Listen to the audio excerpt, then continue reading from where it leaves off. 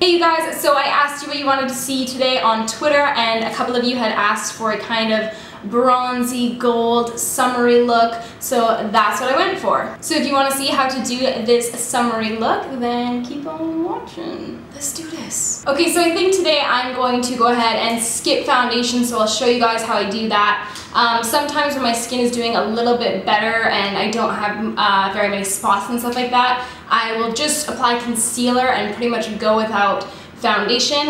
Um, I really like doing this in the summer because I just hate you know, it's like I want to be dewy, but I don't want to be like sweaty. And when you're dewy and don't set your foundation, you like go like this in the summertime, it just, it's not a good thing. So yeah, I'm gonna show you guys how I do no foundation, I guess. Done. Just kidding. So, I'm going to take my NARS Creamy Radiant Concealer in the shade Custard, and I'm just going to apply that underneath the eyes and just kind of drag it down in stripes basically. Okay, so the reason why I'm applying this in stripes instead of dots as I'll sometimes do is because I want to provide a little bit of a gradient so that it's not just coverage directly under my eyes. This is going to just kind of slowly fade away into the rest of my face. So we're basically keeping foundation off the perimeter, but we're adding a little bit of coverage just to the center um, to conceal any kind of under eye circles we have, but also just make it so it's not such like a blunt, like boom concealer. So I'm gonna be taking this big fluffy brush and just tapping Oh, I left my concealer a little bit too long, so it kind of started to set. But I'm basically just tapping that into the skin and then kind of wiping it once I get towards the end here. Um, again, I tap right under here so that I can keep that coverage and then I start to wipe because I want it to be faded out and a little bit less uh, full coverage towards the edges. And I'm also just going to basically go over my nose with this a little bit. And then I'm just going to take the excess that's on the brush as well and just sweep over my kind of brow bone area because I do have a little bit of redness there. And then you can just really gently sweep over any other parts that you just need a little bit of color correcting on. And that's just where I'm going to leave this. I'm going to go ahead and apply highlight and contour later, but this is pretty much what I'm doing for um, my base makeup. A lot of people have been asking me how you can become kind of confident um, not wearing foundation, and honestly, it took a really, really long time. I have a couple friends that are makeup artists that don't wear any foundation whatsoever, and I was always like, man, how do you do it? Because I feel like even if I had flawless skin, I still would have a really hard time doing it. Um, but honestly, you do get used to it. What I recommend if you want to slowly start not wearing foundation or wearing less even is to just, if you have full coverage foundation, cut it with a little bit of moisturizer to thin it out so you get a little bit more of a sheer application. And then basically just keep getting sheerer and sheerer with your foundations until you're like at a pretty lightweight um, foundation that's not gonna have a ton of coverage. And then that's when you can kind of start to be like, okay, I can step away now, I'm used to freckles and sunspots and all that kind of stuff, a little bit of discoloration. It's definitely not for everyone. It is a different look for sure. Um, full foundation is beautiful. Bare skin is beautiful. Whatever you like, go hard, man. The last thing I'm gonna do just quickly is I'm gonna take a beauty blender with a little bit of water in it and just kind of go over that and make sure that the edges are really diffused because I don't want it to be like a really obvious like concealer line. Okay, so I already have a MAC paint pot down and a neutral toned eyeshadow all over the lid. Um, that's just gonna help to stop my eyeshadows from creasing as well as to make the colors brighter, etc, etc. You guys know the drill. So today on Batalash, Peach Smoothie from Makeup Geek will be making its comeback. That's right. So I'm gonna take Peach Smoothie and I'm going to just blend it into the crease. I'm gonna be using this as my transition color, which is going to make it easier to blend out darker colors later.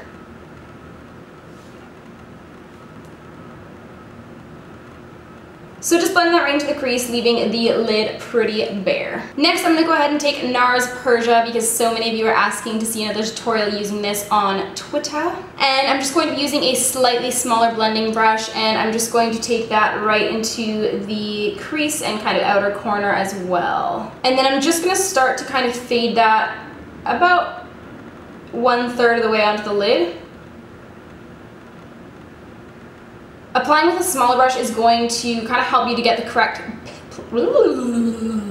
placement of the eyeshadow that you want, whereas if you were to apply with a bigger brush, it would kind of be all over the place. It would start to get muddy really fast. You'd get all up here and crazy. You'd be like, what's going on? My life is ruined. I suck at makeup. I'll never be good at this. And I'd be like, no, just use a smaller brush, homie. It's gonna be okay. And then you can go ahead and use your bigger brush to blend it out like I'm doing now. Now I'm gonna go ahead and take Anastasia's Cognac on a little brush and I'm going to start to define that outer crease or outer corner, I guess, outer corner crease, the outer V area. And I'm just going to start to darken it up a little bit with that color. Oh God, I almost dropped my brush. And then I'm gonna use this to blend it out, this thing that I call a brush. Then I'm just gonna go ahead and take a little bit of Makeup Geek's Mocha and define that crease even more, but I'm going to not drag it down to the lash line this time. I'm just going to keep it right on that outer corner kind of crease area. And then just blend it a teensy little bit.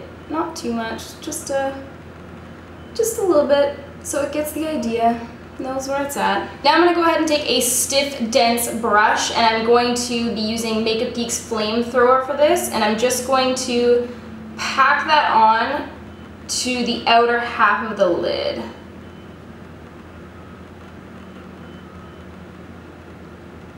Then I'm going to go ahead and take Anastasia's Peach Sorbet. That's really beautiful. It looks like this. And I'm just going to grab that on my talon and apply it right to the inner corner half of the lid and I'm just going to dab that on. And again, the reason why I use my fingers for shadows that have kind of a shimmery texture is because I want to preserve that texture and sometimes if you use a brush, it just it doesn't turn out quite as shimmery or the color isn't as intense, whatever it may be. So if you have a shadow that you just feel like it's not as amazing on the eyes as it is when you swatch it, try applying it with your finger first and then blend it out with a brush, which is what I'm gonna do now. I just have a little bit more of that on that brush and I'm just going to drag it into the inner corner where my talon cannot reach. And I'm also going to pat to blend these together. I'm just gonna go ahead and use a little bit of the Balm's No Money, No Honey as an inner corner highlight here. So a lot of people have been asking me what my favorite eyeliner is for summer, if you have watery eyes, or if you wanna go swimming with winged eyeliner for whatever reason, if you fabulous. Um, and honestly, a lot of you are gonna be like, wow, you're such a bullshitter, because when this product first came out, everyone didn't necessarily love it, well, actually, it was a love or hate thing. It was like people absolutely were like, damn, this is the best thing ever, or they were like, man, this is not for me at all. Um, and that's the Benefit They're Real Push-Up Liner. Now, I have a video review up on this, and when I first tried it, I was kind of like, eh, I see the appeal, not quite for me. I don't use it from the applicator, pretty much ever. What I like to do is push it up, so I'm getting a little bit of product out of the tip there, and I just put it right onto a palette like that. And then what I'm gonna do is I'm going to take it straight from the palette with a little tiny brush. This is the Smith 202 brush and it's the bomb for eyeliner. If you don't have it, you should get it. And that is the truth. And I'm literally just going to take that eyeliner on this little brush and use it straight from the palette. And I'm gonna go ahead and apply my winged liner. Honestly, there's a lot of different eyeliners out there. This is the most pain in the ass one to get off and that's exactly what I look for in an eyeliner. So I have been using it a lot this summer. If you have it and you didn't like it, straight from the applicator, try using it with a brush and see what you think. So just applying my winged eyeliner like normal, I like to go ahead and apply my line straight across the lid first. And then I go ahead and do a line basically coming up from my lower lash line.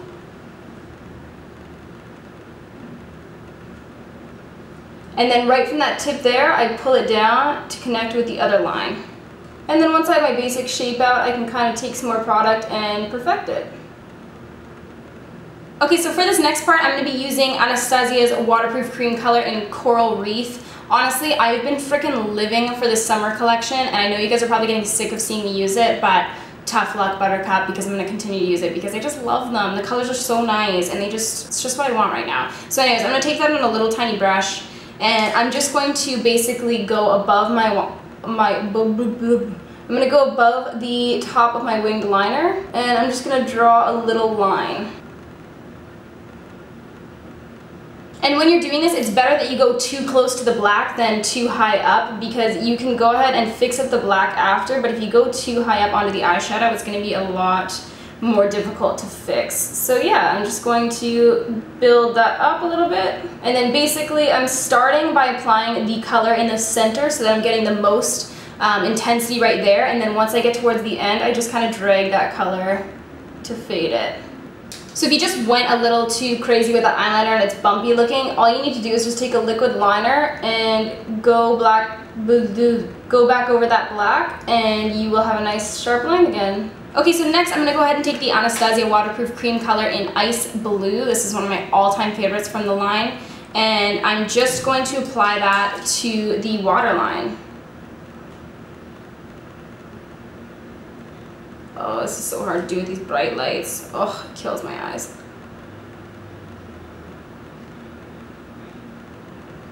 So next I'm going to go ahead and take Anastasia's Cognac again on that little um, Real Techniques, oh my god, how did I forget this name? Accent brush, holy. So anyways, I'm to go ahead and take that and apply it right under the lower lash line. And I'm gonna drag that all the way to the inner corner once I have less product on my brush. Basically, you wanna touch your brush down wherever you want the heaviest deposit of product, and then once you kind of have most of the product off, the, off your brush, you can kind of start to move it towards wherever else to get it a little bit more faded. And then I'm just gonna go ahead and take NARS Persia again on this little brush to kind of diffuse the bottom color there. Okay, I'm gonna go ahead and apply lashes and mascara and I'll show you guys the finished look. So that is the final look. I'm just gonna go ahead and show you guys how I do the rest of my face makeup just for the lulz. So I'm gonna go ahead and use Becca Moonstone. This is one of the most beautiful highlighters of all time, but you guys already knew that because everybody talks about it non-stop. So anyways, I'm gonna go ahead and take a little brush and just apply that to the tops of my cheekbones. Whoa, I applied a lot. I'm gonna blend that out for the next 34 hours. So just the tops of my cheekbones, and then I'm just kind of blending that out in circular motions. And then I'm also gonna apply a little bit to the bridge of my nose, just cause. And then I'm gonna go ahead and apply my Makeup Forever, oh, I can't open this thing. Makeup Forever Pro Bronze Fusion in, I think the shade is 20M, but I'm not sure. It looks like this, if that helps. And I'm gonna be using my NARS Ita brush, and I'm just going to apply it to my face right underneath that highlight. The reason why I apply my highlight first as opposed to my bronzer or contour is because when I apply my highlight first, I feel like it's more of a kind of glow from within type of gig as opposed to here's some highlight chilling on my face. Um, yeah, I don't know. I just feel like I can't blend my highlight properly and it starts to look muddy on my face if I apply my found or apply my highlighter after my bronzer. And again, if you choose to skip foundation, your natural kind of freckles and discoloration is going to show through a little bit. So it might look a little bit dirty or like muddy in photos as people like to frickin' so casually call out at me. But um, it just is, it's just a different look. So if you like it, dope. If you don't, whatever. And I'm also going to take a little bit of that bronzer and just bring it through my temple here. So to finish off my face, I'm going to be using a little bit of Becca Wild Honey, which is one of my all-time favorite blushes. I absolutely love this color. You guys probably already know. I get a little bit obsessive about blushes. So I'm just going to go ahead and apply that right to the cheeks and blend it into my contour and highlight. I like to do a little bit more natural of a blush and contour when I'm not wearing foundation because otherwise it starts to look a little bit crazy. So this is pretty much where I leave my face makeup when I'm not doing foundation. I choose not to powder whether I'm wearing foundation or not because I like to look oily. But if you do have particularly oily skin and you don't want to get shiny, then you might choose to just use a translucent or colored setting powder and just apply it all over your face. For my lips, I'm just going to go ahead and apply MAC's Runway Hit. Is that what this is called? Yeah. Runway Hit. This is from the new matte collection. It kind of applies dry and almost patchy when you swatch it, but on the lips, it is gorgeous. I don't know, it's just a really pretty color. So anyways, I'm going to go ahead and apply that. So this is the final look. I hope you guys like it and learned something cool today. Let me know what you'd like to see next in the comments below and we can chat about it. Okay guys, peace out.